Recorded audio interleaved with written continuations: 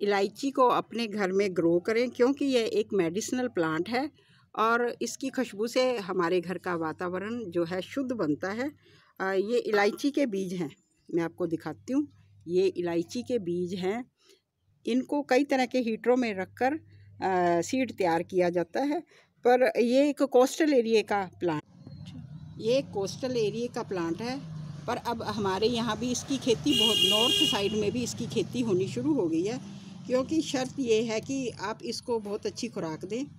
मैं आपको प्लांट लगाते हुए इसकी खुराक के बारे में, इसकी फर्टिलाइज़र के बारे में बताऊँगी। आप मेरी वीडियो को एंड तक देखें और मेरे चैनल को सब्सक्राइब ज़रूर कर लें अगर आप मेरे चैनल पर नए हैं।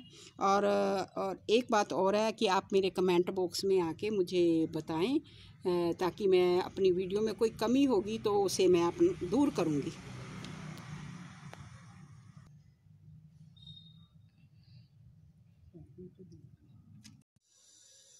हेलो वीवर्स आज मैं आपको ये इलायची का प्लांट लगाना बताऊँगी कि कैसे हम इसको अपने पोट में लगा सकते हैं और इसके लिए जो सॉयल हमें चाहिए, वो थोड़ी सी रिच सॉयल चाहिए। रिच का मतलब ये है कि हमें थोड़ी सी इसमें खुराक ज़्यादा चाहिए।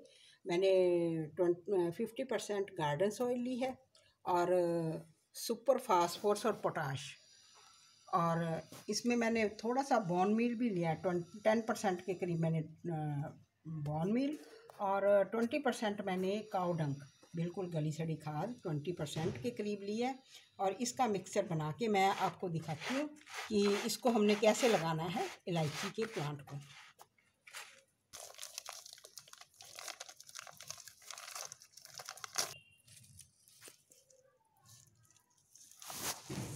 पोट में मैंने डिक्री रख के और इसको सॉयल से, इसी सॉयल को अच्छी तरह से दबा दिया अब मैं इस प्लांट को लगाऊँगी।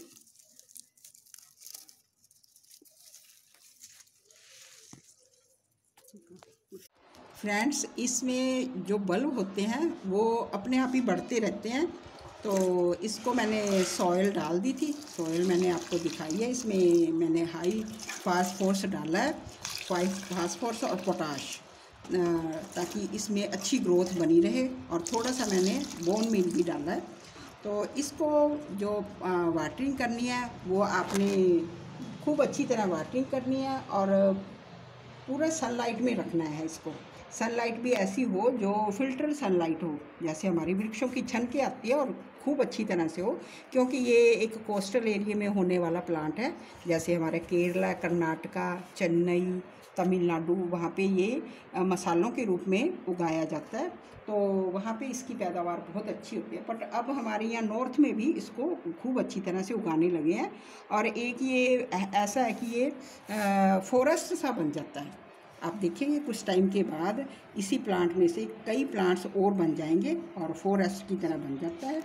और इसकी जो सॉइल हमने लेनी है, वो वेल ड्रेन सॉइल लेनी है। वाटर जो है, हमने सॉइल को बिल्कुल कीचड़ सा नहीं बनाना गारा सा नहीं बनाना, पर सॉइल को बिल्कुल नमी वाला रखना है और धूप भी अच्छी देनी है। Fertiliser with high phosphorus with two time a month अगर हम इसको पोट में लगाते हैं तो आप ये सोच के चलो कि इसको फास्फोरस की जो फर्टिलाइज़र देनी है, वो इसको मंथ में टू टाइम चाहिए। यानी फिफ्टीन डेज़ के बाद इसको फर्टिलाइज़र आप ज़रूर दें, ताकि हमारा जो ये इलायची का प्लांट है, वो अपनी अच्छी ग्रोथ करके दिखाए। आप ये देख रहे हैं, बहुत अच्छी ग्रोथ है और इसकी और ये तकरीबन कुछ टाइम के बाद ये फ्रूट देना शुरू कर देता है। मेरी वीडियो को आप ज़्यादा से ज़्यादा शेयर करें लाइक का बटन भी दबा दें और साथ के साथ मेरे चैनल को अगर आप नए हैं तो ज़रूर सब्सक्राइब करें। किसी और वीडियो के साथ मैं आपके समक्ष फिर आऊँगी। थैंक्स